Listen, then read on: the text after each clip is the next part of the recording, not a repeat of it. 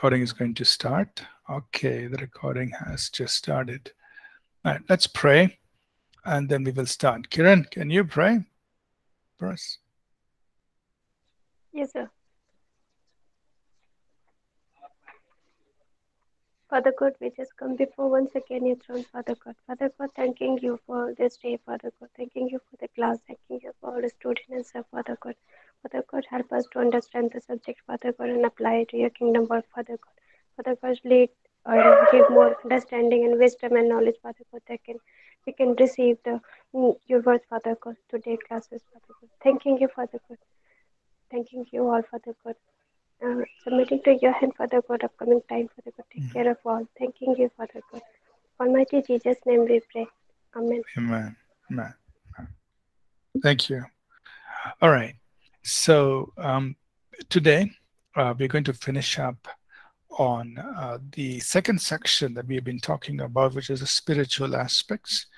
Uh, we're just you know covering a few things, uh, so we will finish it up. Uh, so the class today may be short, maybe uh, we will we'll finish it soon, and then next week we'll go into another section, a new section that has to do with the personal life of a church planter or personally how do i prepare myself if i want to start a ministry in the city right? Whether it's a, a urban church a, a church plant which is what we've been focusing on but these things apply to any kind of ministry christian ministry uh, that we are planning to start in an urban center. How do we personally prepare ourselves? Okay so that will be the section number three that we will get into from next week. So the plan is today we will finish up section number two, uh, which is the spiritual aspects of uh, church planting, urban church planting, um, or uh, starting a ministry in the city. So just to, uh, we were talking about, uh, you know, proclaiming the uncompromised gospel. This was yesterday. Uh, we talked about proclaiming the full gospel, and uh, we need to address you know questions that are on the minds of people the people that we are talking to. Um, the questions could be different in different places um, you know and uh, we need to be able to uh, uh address those questions uh, especially when it comes to uh, the christian faith or about god. And so by addressing those questions you know we are helping them you know relate to the gospel and then then hear the gospel and they would then be open to it. And also thirdly we said when we are preaching the gospel uh, we need to uh, uh, break controlling powers uh, address the things that are controlling the people uh, spiritually. So the, the presentation of the gospel should be in such a manner. Okay? So we stopped there yesterday. I just want to, just to touch on a couple of more things from a spiritual perspective side. So as a part of the church plant or whatever ministry uh, you know we are starting in the city in the urban center uh, it's important that we equip the believers equip the saints. I mean saints i mean the believers. Equip them to impact the community or the city right so uh, this is first of all, this is what God wants us to do uh, because He uh, He wants every saint, every believer, to be equipped for ministry, to do something for the kingdom of God. So, as a local church or as ministry, uh, we need to think along these lines, and uh, we need to work along these lines. Uh, so, as a local church, it's not um, while the, the leadership in the local church, the pastors and others, uh, may be, uh, you know, doing their part in reaching out to the city. Most importantly, we equip the saints so that they can do the work of the ministry. So here are just a few thoughts here on, on how to how to go about equipping the saints, equipping believers so that they can do the ministry. So first of all, we must teach the word of God. You know, feed the people, feed God's people with truth, uh, with uh, sound doctrine, sound teaching from the word, so that they know what is truth and they can uphold that truth in society. So equip the people through teaching God's word, right? Feeding them with wisdom and understanding. Secondly, we must also emphasize the supernatural. Uh, the Lord Jesus wanted us to do that. He wanted, he said, uh, uh, those who believe in him will do the works he did and even greater works. So that's our, we should emphasize that, you know, go out there, uh, expect God to demonstrate his supernatural power, pray for the needs of people, pray for healing, pray for miracles to take place, emphasize the supernatural because that's the way God wants us to really impact um, the community, right? So if believers are equipped to go out there and expect the supernatural, then they, you know, wherever they go throughout the week, uh, they will expect God to work through them and demonstrate the supernatural. A third way we uh, equip God's people um, is uh, we equip them to be salt and light. That means how they can apply truth to wherever they are uh, during the week, which is, of course, they're going to be at home, they're going to be in the workplace. Um, so uh, they need to be able to take the truth and apply it in life situations. Uh, so that's, you know, they're being salt and light wherever they are. They're bringing about change, they're bringing about kingdom influence right where they are you know?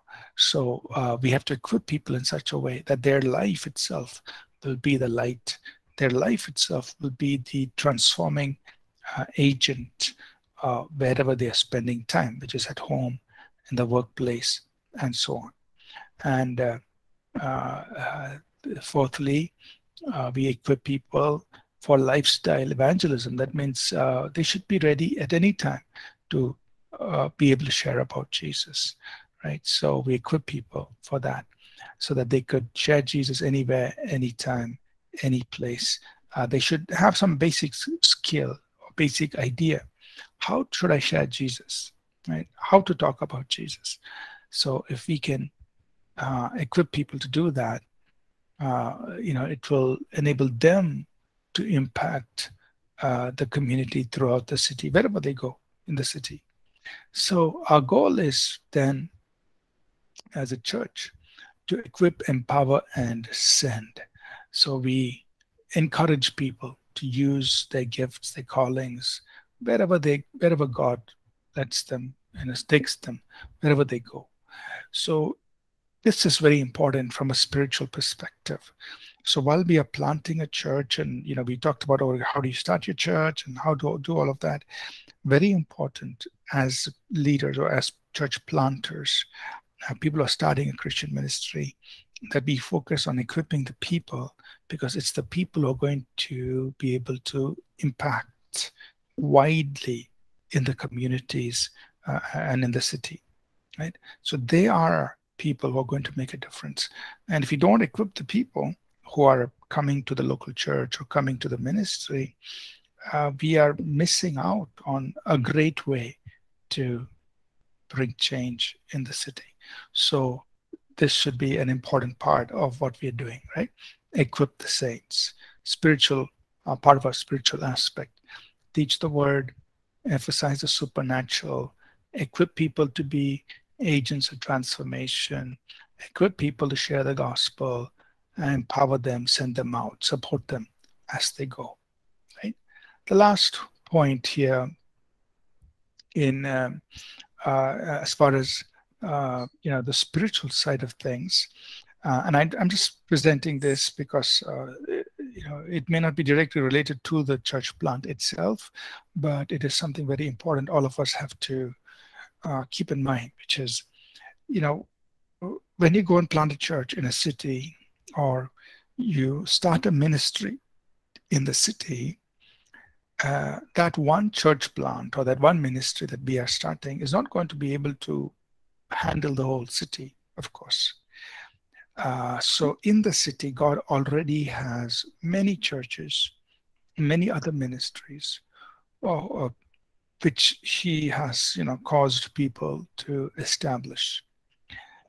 Um, and so it's very important for us as we seek to make an impact on the city that we learn to work with other churches and ministries Now, this is a spiritual aspect that we need to be part and engage with the citywide church.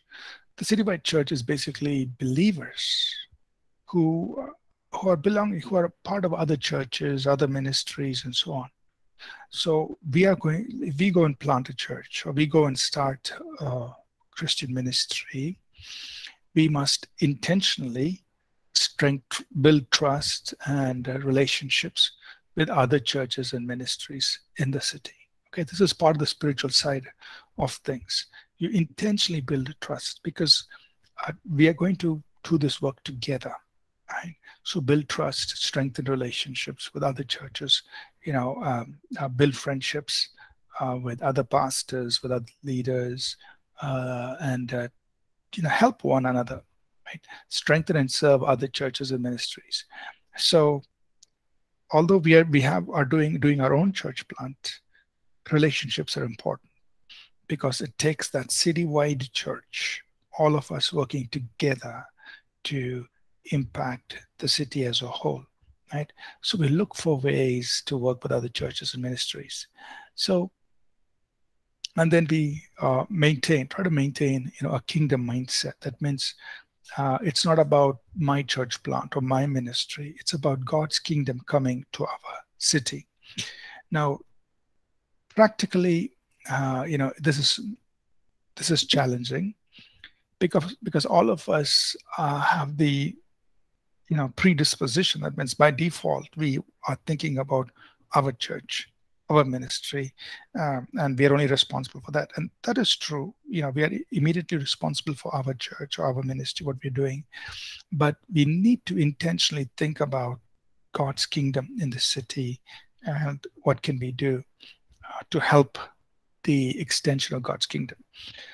You know, practically, uh, you know, one way that we were doing uh, at All People's Church, uh, this was just before the lockdown. Uh, so from 2013 uh, till um, the early part of uh, till 20, yeah, early part of 2020, I think. we every month uh, we used to host uh, a pastor's breakfast meeting.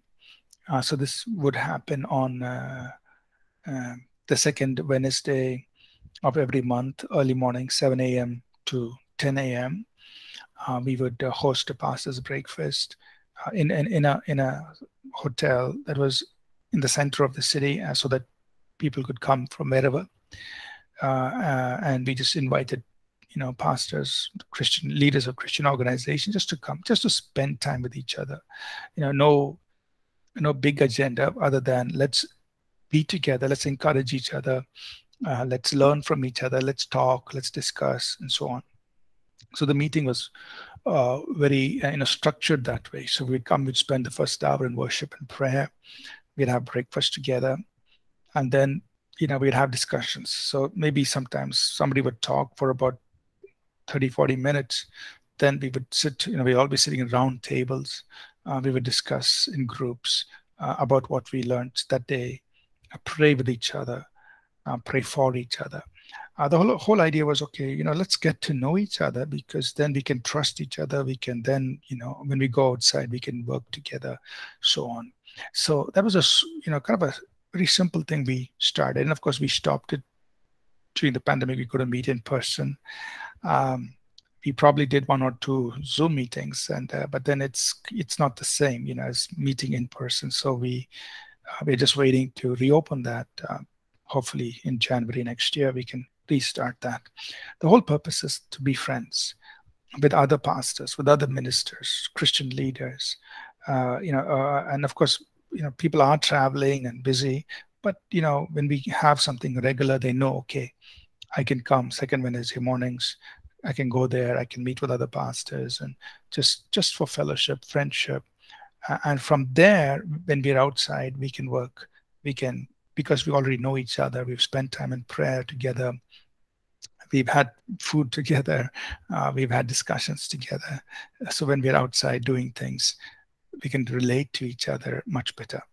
So so that's just a you know a small example where we could you know do things in the city in order to build friendships, because ultimately all of us working together are going to bring about uh, kingdom impact in the city.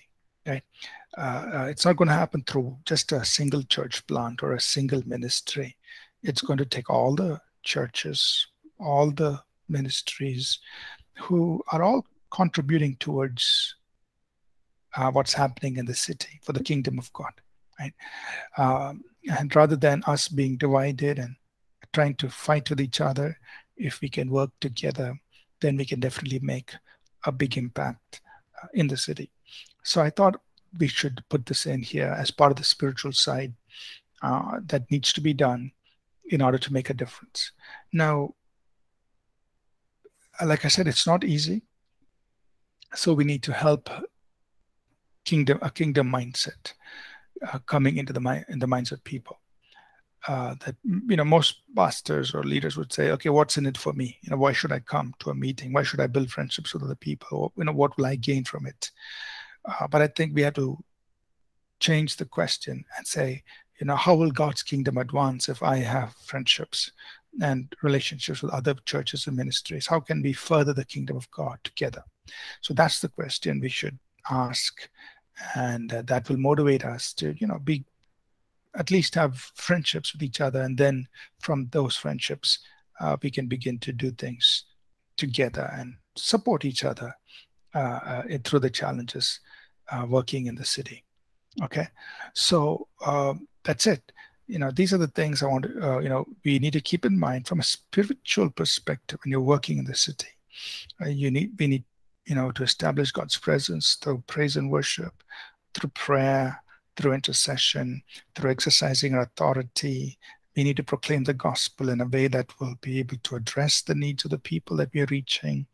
Uh, we need to equip believers so that they can then go and make a difference in the in the city and at this and finally we also need to build good relationships with other churches and ministries so that together we can be one force for God's kingdom in the city. So think about all these things. So this is a spiritual side that's involved as we are doing our work in the city, planting a church or uh, starting a Christian ministry in the city.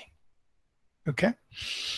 Uh, so with that, we complete this section two, which is uh, basically the spiritual side of um, the urban church plant. I know I've uh, covered this uh, uh, in a very simple way, um, and uh, but you know, practicing this is really really important. Yeah. Oh, um, I see your comments. Prince, you, you, you, some of you attended that pastor's breakfast meeting? I, I'm not sure. This must have been in uh, 2000 one and one time you come. Okay, okay, yeah. So, you know, we, we do that. Good. Okay, any thoughts, any questions?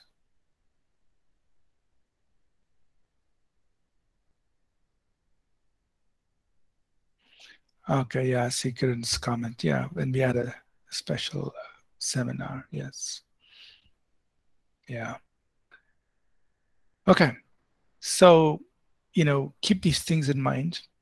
Uh, please try to do what you can in your cities where you work, uh, even if it means getting meeting with one other person, one other pastor, one other person from a different ministry just building friendships with them, that it will be a big step. You know, uh, you may not be able to gather, you know, many pastors or many Christian leaders, that even if you meet with one other pastor, one other Christian leader, just pray together in your city.